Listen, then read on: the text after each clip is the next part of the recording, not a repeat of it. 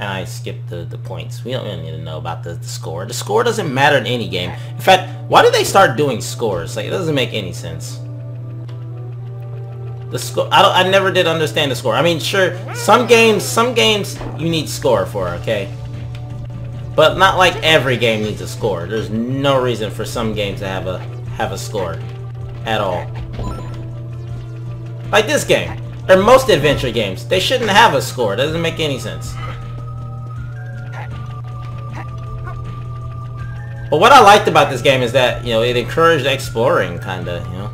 Most games are like, you know, get to the goal. This game's like, you know, will give you a bonus if you explore the level.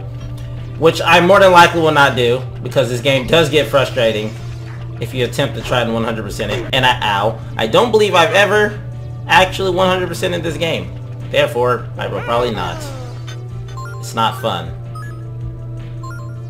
And especially if you're someone like me who misses the obvious a lot, probably not best for me to try and 100% anything.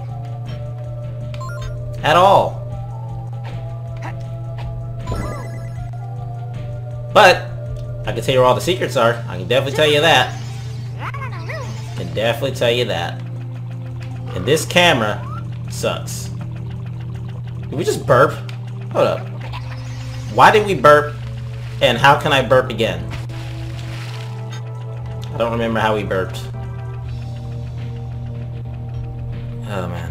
Alright. But you really do have to take care of the ball, dude. If you lose the ball, you die. You lose the ball, you die in real life. And everything you do can and will affect the ball. Luckily we have checkpoints like this. Okay, I, I hope this turns out smooth for you guys, because me playing it in full screen is not smooth. It is actually like trying to play this in 30 FPS and it's making me kind of motion sick. You know, you, you ever get that sometimes where something, you playing something, right? And something doesn't move quite as smooth as it should. And I don't think vertical sync necessarily helps the problem. But you ever just get that issue that something runs a little bit slower than normal and your eyes can tell and it just it just makes you dizzy. Maybe that's just me, but I swear to God, the choppiness is affecting my eyes. Hey. So that's the checkpoint. You have to throw your ball through those to, to get the checkpoints. And nope, no fall death, not today. Crap. See, that, that wasn't intentional. That was 100% not intentional. Great. No, no, no, no, no, no. Hold up. Oh boy.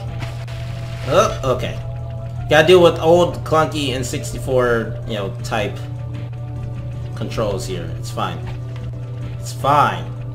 You get more points when you run over run over these relics with the ball. Anyway, got time for that. If I'm gonna get the relics, I'm gonna get them with me, myself and I. Fuck the ball. The, we could keep the ball somewhere else. I saw some extra relics hiding on the edge of that cliff. Don't think I didn't see that. But they really try to hide stuff. Really, really well. Sometimes really well, sometimes really annoyingly well. Like this ledge. It's kind of annoying ledge to find, but, you know. Again, exploration. This game made me feel smart back in the day.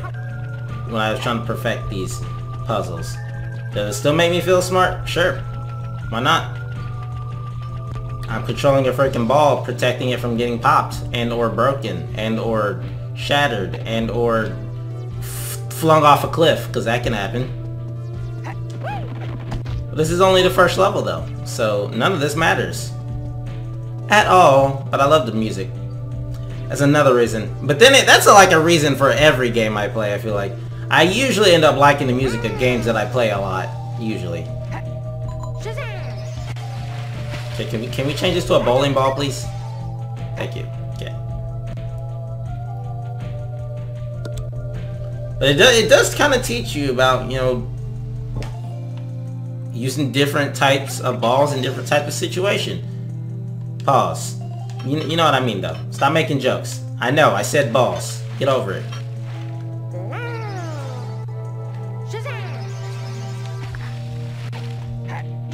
Yo. You want the ball to stay still? Use a fucking bowling ball.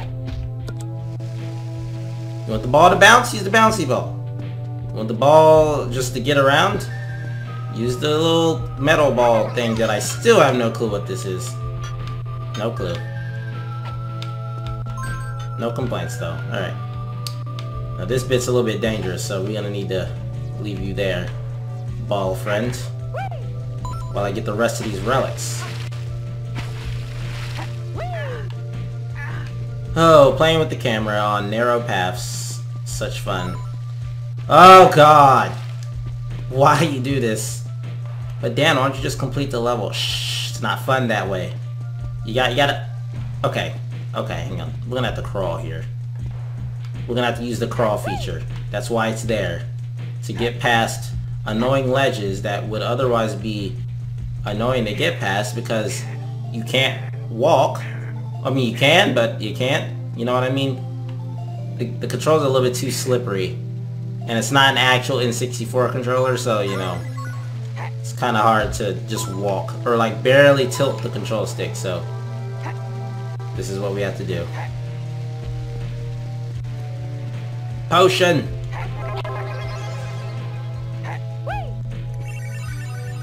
Now we are Buff Glove we can do whatever we want. Like push this thing.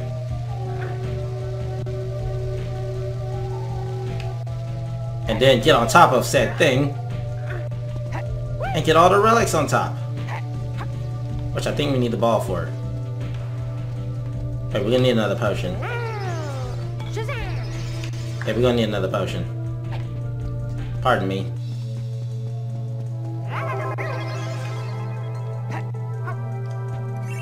Alright. How do we get on top of the ball? I don't remember. See? Nope. There's a way to get on the ball. Well, besides doing this, which is, you know, the apparent... No, no, no, no, no! No, no, no, no. Fucking reverso controls, dude. They're annoying. Much more annoying than it looks. God damn it. Gonna run out. Maybe I don't need it. Maybe if I just jump from here. You know what? I need it. One more time. One more time. From the top.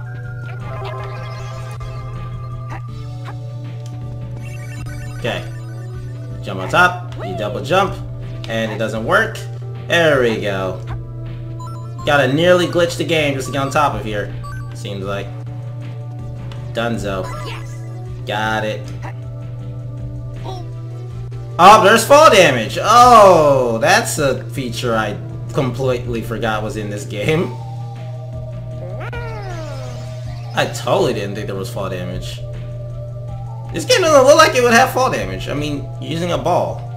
You just use the ball to break your fall, but shows what I know. Yes. The Mario 64 had fall damage. Most of these platformers have fall damage.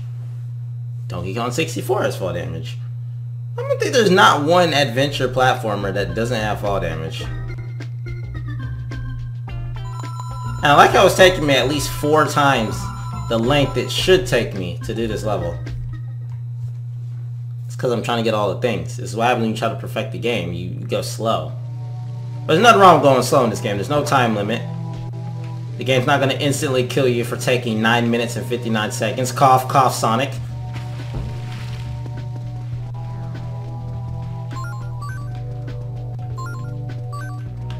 It's like you just don't go fast enough for Sonic, and all of a sudden, you just get screwed over for it. They just kill you. It's dumb. I mean, it's not dumb, but it's dumb at the same time.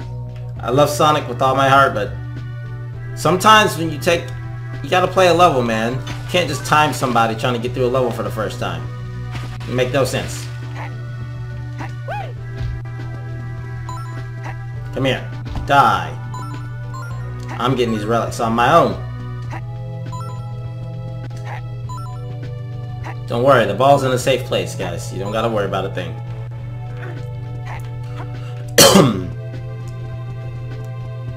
now we see our true enemy, spikes, which we will have to navigate through, I think. By I think, I mean I'm positive.